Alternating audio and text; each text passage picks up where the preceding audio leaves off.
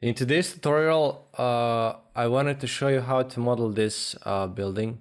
This is actually uh, some kind of uh, structure in China that is just built for um, like decoration purposes. It doesn't have any purpose whatsoever. Uh, uh, they just use it as a landmark like Eiffel Tower in, in Paris. And they have some kind of a way to get to the top so it's like a sightseeing place or whatever. So uh, personally i don't like support this kind of buildings because it's for me it doesn't seem like a legit purpose for a building. Just have a massive circle in the middle of all these surrounding buildings but that's chinese architecture. So let's just uh, go forward and uh, I'll also show you how to create this kind of uh, pattern on the side. Okay, so let's start. So first thing we want to do is we want to actually create some uh, circle and then uh, duplicate this guy one more time. And now let's bring it down a little bit like so. So we want to achieve this this effect here so that's why we're bringing it down uh, once this is ready, uh, let's go to the perspective. And uh, now we need to actually move it here, like so. This will this will have some kind of thickness, so I'm just gonna extrude it a little bit on this side.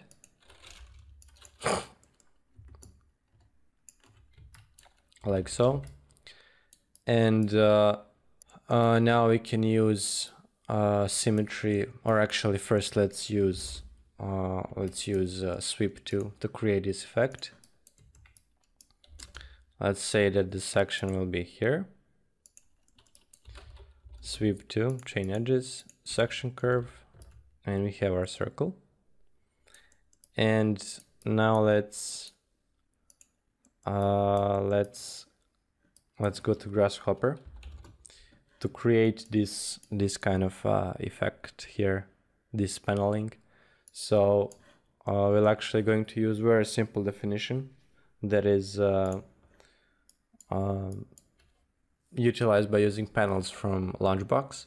So we're just gonna use uh, these uh, triangle panels B and let's select this surface, right click, set one surface and this is the paneling that we have.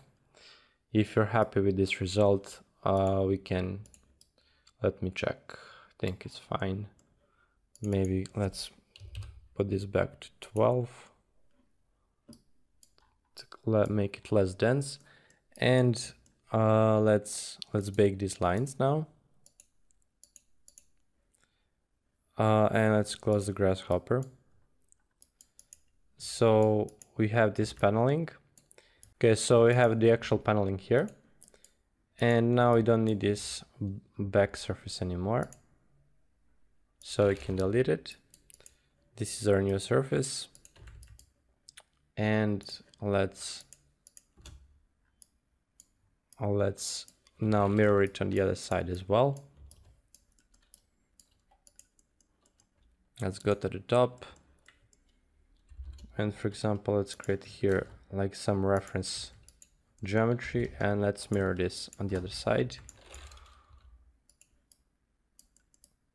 And one more thing we can do is actually uh, mirror this curve as well and then connect these guys together. So let's mirror this like so and now we can use simple loft command to connect it like so.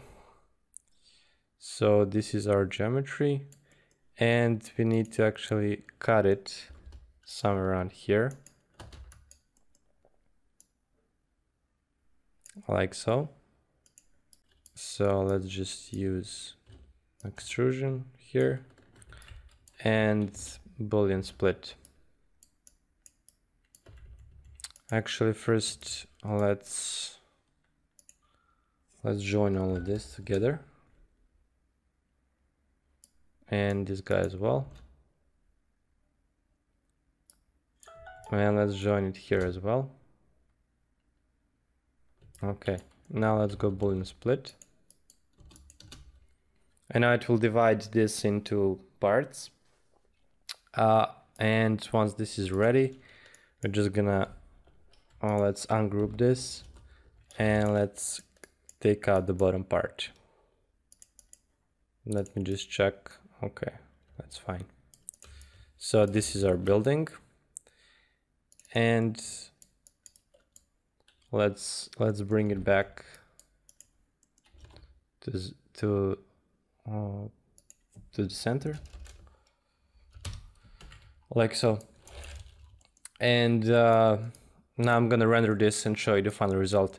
The only thing that here um, I can show you here is um, that we can actually create a material that is called uh, toon material.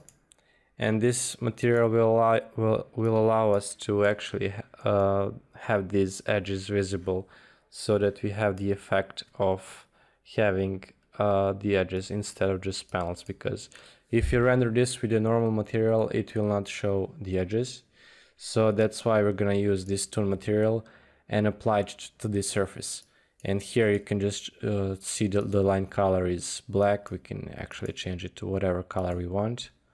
And we can actually also set the base material into something else and then have uh, these edges be, be visible for, for, for this purpose. So I'm just gonna use this now for this material and show you the result. Here is the final rendering, hope that you like it. If you have any questions, comments or suggestions, please write them down in the comment section below this video. And uh, if you like this kind of tutorials, please like and share. And make sure to subscribe to this channel by clicking on the bell icon here so that you can get notified every time I upload a new video.